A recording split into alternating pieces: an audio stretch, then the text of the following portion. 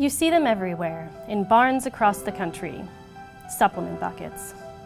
They may seem innocent enough, but as I've come to learn, there's a dark tale under every lid. Well, I always knew buckets were hurting me. I was breaking my fingernails, and my feed room was a mess.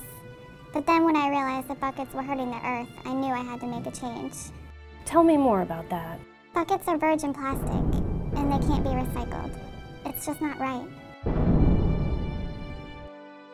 If you or someone you know is being affected by buckets, don't give up hope. Visit smartpak.com to find your life beyond buckets. For Equestrian News Nightly, I'm Barbara Halters. Good night and have a great ride.